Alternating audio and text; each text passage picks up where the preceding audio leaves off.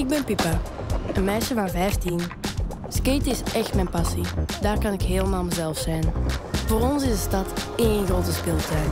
We zien van alles dat jullie niet zien. Een trap is een ster en een stoeprand een ledge. Jammer genoeg hebben we ook wel wat vijanden. Deze dingen die ze hebben gezet zijn gewoon zo kut. Zo die hebben die fietsenrekken hiervoor gezet. Maar die gasten En zo gaan we nergens meer kunnen skaten binnenkort. Laten we gewoon eerst contest schrijven en dan verzinnen we straks een mooie naam. Ergens een plek. Wie, wat, waar, wanneer, waarom. Ja, waarom. waarom. Barstel? Ja. Wat moet ik aan het doen?